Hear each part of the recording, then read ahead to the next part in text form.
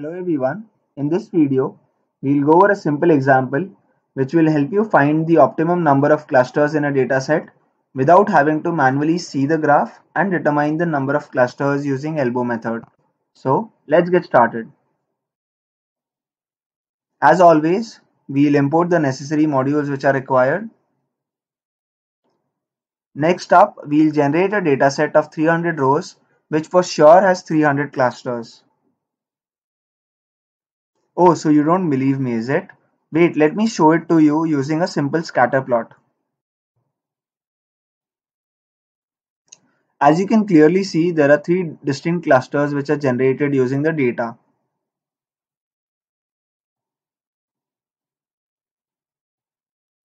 The normal routine of finding optimum number of clusters using elbow method is to set optimum k value from 1 to n in our case if I choose n to be 10 so I select k values from 1 to 10 find out the distance of the cluster centers from all the points and create a cost function.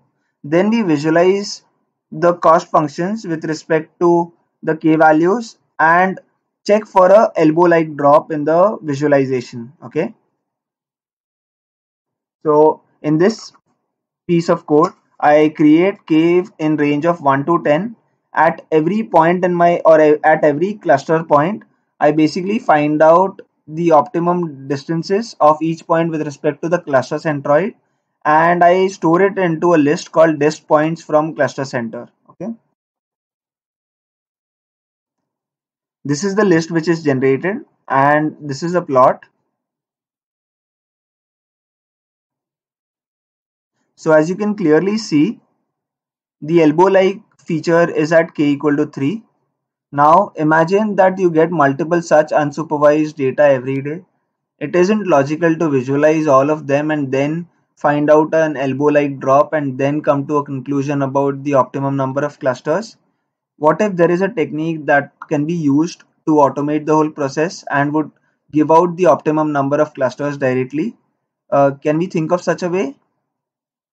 Yes, we can. So a simple tweak in the same graph can help you ar arrive at the optimum number of clusters. Okay. What I simply do is I create a line joining the first point and the last point that is k equal to 1 and k equal to 9 are my points where I join the two points. Okay. Now the next step as part of the next step in order to automate the process if you can clearly see the distance between the red line and k equal to 3 looks to be the maximum.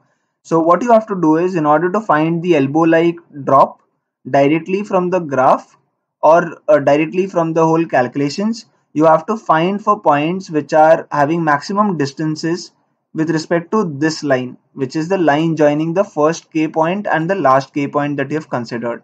So for example you start off with k equal to 1 and the distance of this point with respect to this line which would be 0 at k equal to 2 you'll get some distance value. At k equal to 3 you'll get some distance value. At k equal to 4 you'll get some distance value and so on. You'll store all of these distances into a list find out the index of the value with or of the maximum value. Okay? That's the whole idea behind finding the optimum number of k using this method okay?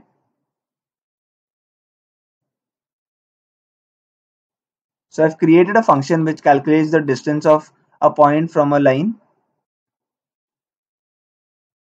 Now using the points that we have which is k8 and k0 which is the first point at k equal to 1 and the last point which is at k equal to 9 I create a straight line with using this equation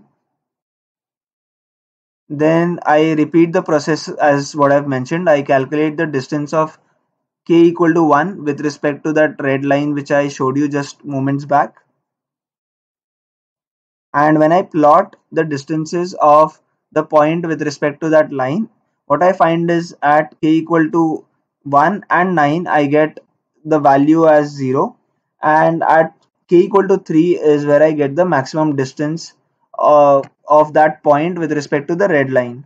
So now all you have to do is you have to basically return the maximum index of the list which stores the distance of your k values with respect to the red line which you have plotted. So this is how you can automate the whole process of finding k in k-means clustering. I hope you like the video. Do subscribe to my channel as this motivates me to make more videos. Thanks for watching.